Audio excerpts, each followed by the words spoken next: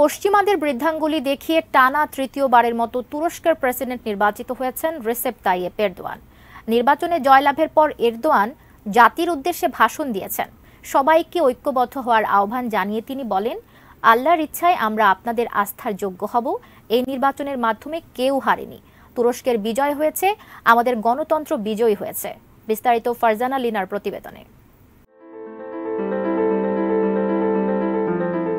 টানা তৃতীয়বারের মতো তুরস্কের প্রেসিডেন্ট পদে নির্বাচিত হয়েছেন রেসেপ তাইয়েব এরদোয়ান এর মধ্য দিয়ে ২০ বছর পেরিয়ে ক্ষমতার একুশ বছরে পদার্পণ করলেন এরদোয়ান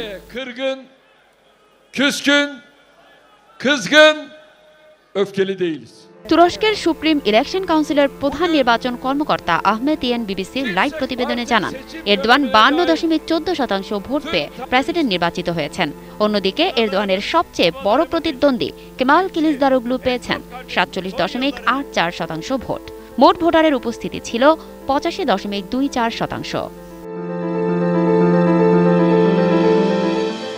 নির্বাচনের তৃতীয় অবস্থানে থাকা সিনান ওগান রানপ নির্বাচনে বর্তমান প্রেসিডেন্ট এরদোয়ানকে সমর্থন দিয়েছেন। প্রথম দফার নির্বাচনে ওগান পাঁচ দশমিক দুই শতাংশ ভোট পেয়েছিলেন। এর আগে তুরস্কের রাষ্ট্রীয় সংবাদ সংস্থা আনাদুলু এজেন্সি এরদোয়ানের বিজয়ী হওয়ার কথা নিশ্চিত করে।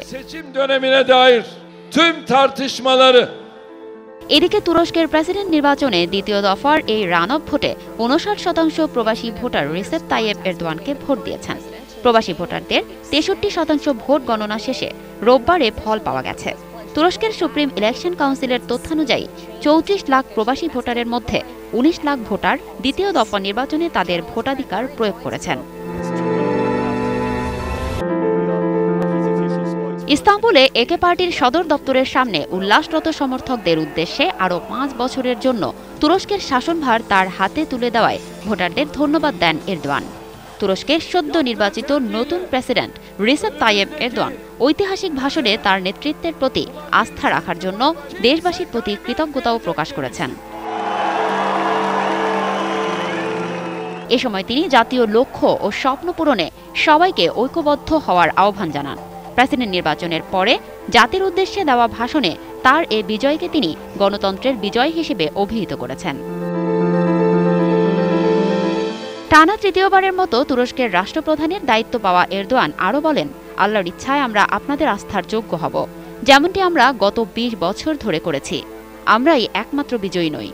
তুরস্কের বিজয় হয়েছে। আমাদের গণতন্ত্র বিজয়ী হয়েছে। আজ কেউ হারেনি। সবাই জিতেছে। দেশের পঁচাশি মিলিয়ন মানুষ জিতেছে. ঐতিহাসিক বিজয়ের পর বিশ্ব নেতারাও এরদোয়ানকে শুভেচ্ছা জানানো শুরু করেছেন। রুশ প্রেসিডেন্ট ভ্লাদিমির পুতিন এরই মধ্যে এরদোয়ানকে অভিনন্দন জানিয়েছেন। অভিনন্দন জানিয়েছেন ফ্রান্সের প্রেসিডেন্ট ইমানুয়েল ম্যাক্রনো অভিনন্দন জানানোর তালিকায় আছেন কাতারের আমির Sheikh Tamim bin Hamad Al থানিও লিবিয়ার প্রধানমন্ত্রী আব্দুল হামিদ এই বিজয়কে এরদোয়ানের সফলতা ও নীতির প্রতি তুরস্কের জনগণের আস্থা হিসেবে উল্লেখ করেছেন।